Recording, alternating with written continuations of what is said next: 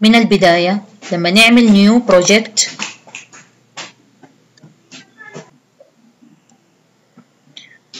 طبعا أنا علمتكم إنه ندخل من browse ونروح مثلا سطح المكتب نعمل مجلد باسمنا. نروح سطح المكتب ونعمل مجلد جديد باسمنا ونسميه. وطبعا نحفظ مشروعنا داخل هذا المجلد. Select folder.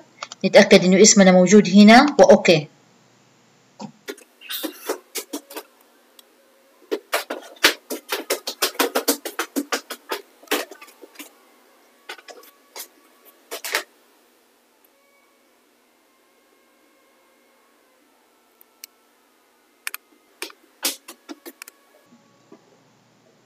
لما نروح سطح المكتب حنلاقي المجلد اللي باسمنا ونلاقي بداخله المشروع.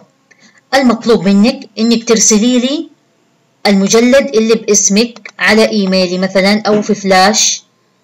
طيب كيف ممكن ترسليه على الإيميل؟ لازم تضغطي هذا المجلد. كيف أضغطه؟ تكوني محملة طبعا عندك في اللابتوب برنامج وين زب أو وين رار المسؤول عن ضغط الملفات. مجرد ما أضغط آت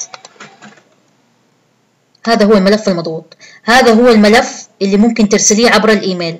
لكن بالنسبة للفلاش عادي ممكن ترسل المجلد من غير ما تضغطيه.